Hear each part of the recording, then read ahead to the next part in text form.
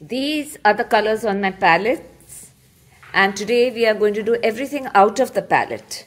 I have stuck my Canson paper on my board and we are going to use everything on my palettes. All the colors on my palettes are going to be used to do a beautiful wreath. Let's start with our Christmas wreath. So over here we have um, the colors which I'm going to put into my sketch. I have put shrubs in the shape of my wreath and I'm using all the shades of green and brown on my shrubs. I'm coming all the way round with a size 4 and 8 brush. I'm pulling out the paint from the main branch and giving it a heavy body look, heavy bodied look, so that it looks nice and um, full.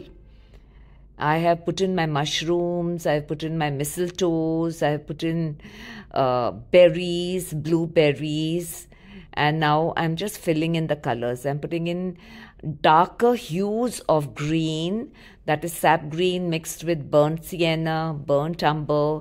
So I get many shades of green. And now I'm just adding a little Prussian blue into my berries, creating bunch of berries here. And I'm going to fill in my um, shrubs on the other side, making it look a little heavier. I am following a picture from Pinterest. I'm filling in my mushroom with pinks, crimson red. I've made two little mushrooms here. And the reference is a picture from Pinterest and you always use it just as a reference and you move on your own. Please do not try to copy anything because it'll never be, two paintings will never be absolutely alike. Like in that reference, there's a mouse on the side. I filled in three golden pink roses. I'm just going to do that. I did try to put in a, a mouse first, but uh, it somehow didn't work out well. So I erased it and put in three golden roses. Uh, filling in my little pink petals and buds filling up my wreath. And if you make a mistake, please dab it with your tissue paper towel and redo it. You can always correct a mistake.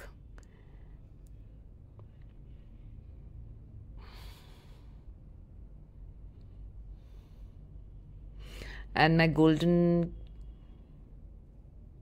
roses are coming up.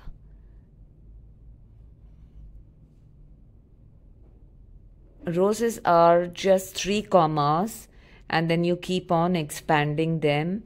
I will do another video on roses alone.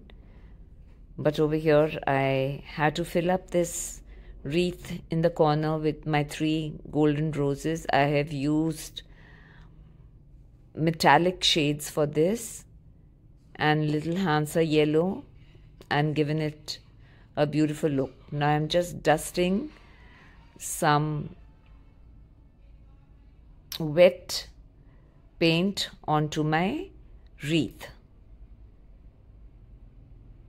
Removing my tape and now I will give it a border with my golden metallic color and I'm almost done.